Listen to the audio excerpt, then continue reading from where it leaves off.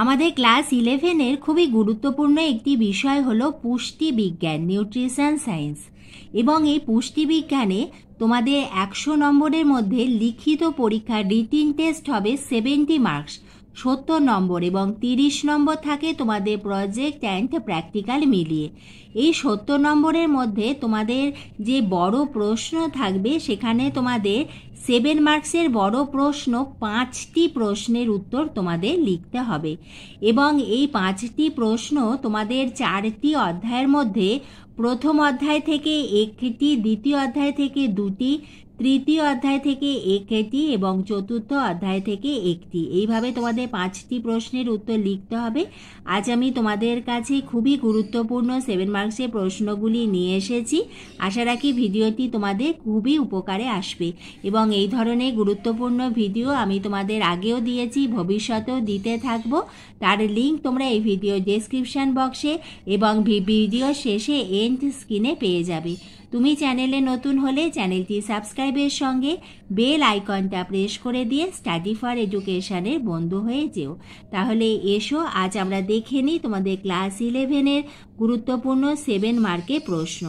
প্রথম অধ্যায়ের একে প্রশ্নটি হলো উনপুষ্টি কাকে বলে? মানবদেহে উনপুষ্টিজনিত কয়েকটি সমস্যা ও তার লক্ষণগুলি লেখো। ইহা দু হাজার সতেরোতে এসেছিল। অ্যানথ্রোপোমেট্রিক মূল্যায়ন প্রক্রিয়ায় প্রত্যেকটি পদ্ধতির গুরুত্ব লেখো। পুষ্টির সংজ্ঞা দাও, পুষ্টির মান নির্ণয়ের পদ্ধতিগুলির নাম লেখো।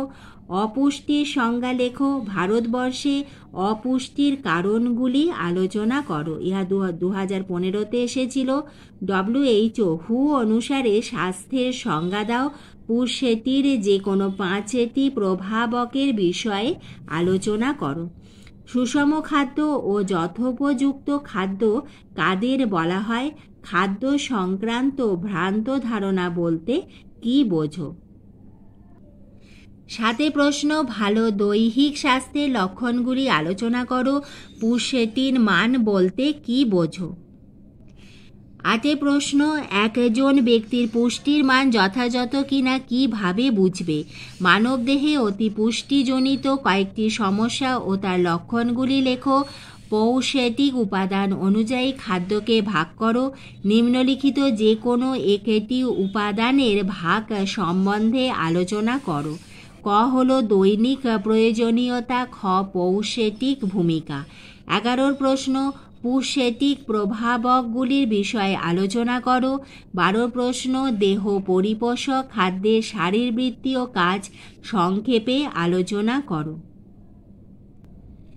দ্বিতীয় অধ্যায় হল পরিপোষক পুষ্টি সাধন ও ক্যালোরির ধারণা। প্রথম প্রশ্ন, কার্বোহাইড্রেট কি? কার্বোহাইড্রেটের কাজগুলি লেখো। অত্যাবশ্যকীয় অ্যামিনো অ্যাসিড কাকে বলে? এদের নামগুলি কি কি? মানব দেহে প্রোটিনের তিনটি কাজ উল্লেখ করো। তন্তু শর্করা কাকে বলে? আমাদের খাদ্যে এটির প্রয়োজনীয়তা কি?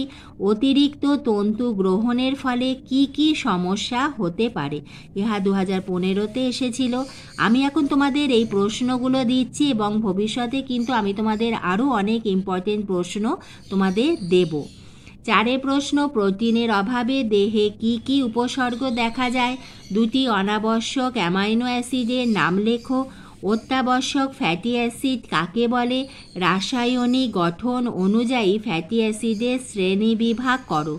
ইহা দু হাজার ষোলো এবং দু হাজার নয়তে এসেছিল। অ্যান্টি র্যাকাইটিক ফ্যাক্টর বলতে কি বোঝো? একটি ভিটামিনের উৎস ও দৈনিক প্রয়োজনীয়তা লেখো। মানবদেহে এর গুরুত্ব আলোচনা করো। সাথে প্রশ্ন, মানবদেহে লৌহের কাজগুলি লেখো, লৌহের অভাবে কি সমস্যা দেখা যায়? ইহা দু হাজার ষোলোতে এসেছিল। আমাদের তৃষ্ণা পায় কেন? মানবদেহে তৃষ্ণা কেন্দ্রটি কোথায় অবস্থিত? ইহা দু হাজার পনেরো ক্লাস ইলেভেনের অ্যানুয়াল এক্সাম। এই যে ইয়ারগুলো বলছি, এগুলো সবই তোমাদের ক্লাস ইলেভেনের অ্যানুয়াল এক্সামের প্রশ্ন। দেহে জলসাম্য রক্ষায় বৃক্কের প্রভাব আলোচনা করো। একজন প্রাপ্তবয়স্ক ব্যক্তির দৈনিক জলের চাহিদা কত? মানবদেহে জলের ভূমিকা বা কাজ সম্পর্কে আলোচনা করো। দশে প্রশ্ন, কোন ভিটামিনকে অ্যান্টি র্যাকাইটিক বলা হয়? এর রাসায়নিক নাম কি? এই ভিটামিনের প্রোভিটামিনের নাম লেখো। এই ভিটামিনের অভাবে শিশুদের কি সমস্যা হতে পারে সেগুলি আলোচনা করো। ইহা দু হাজার পনেরোতে এসেছিল। এগারোর প্রশ্ন, প্রথম শ্রেণি প্রোটিন বলতে কি বোঝো? মানবদেহে প্রোটিনের গুরুত্ব লেখো। ইহা দু হাজার ষোলো, ক্লাস ইলেভেনের অ্যানুয়াল এক্সামে এসেছে। রিকেট রোগের দুটি লক্ষণ লেখো।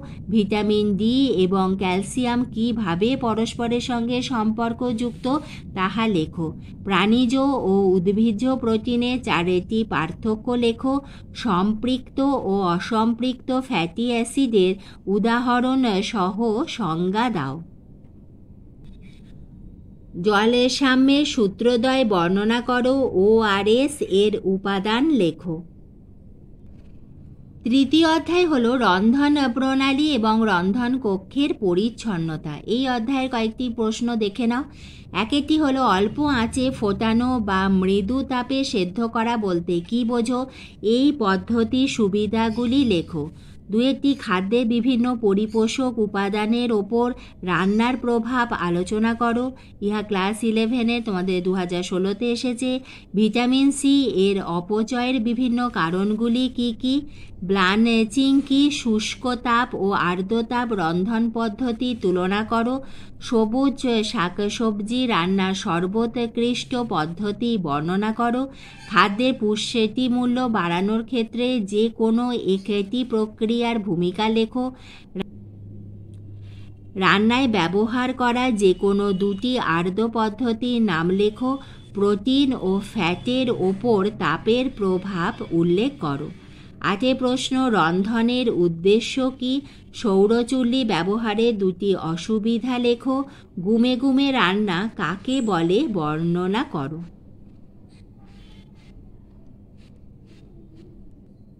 চতুর্থ অধ্যায় হলো প্রাত্যহিক খাদ্যে পুষ্টি। একে প্রশ্ন খাদ্য পরিকল্পনা বলতে কি বোঝো?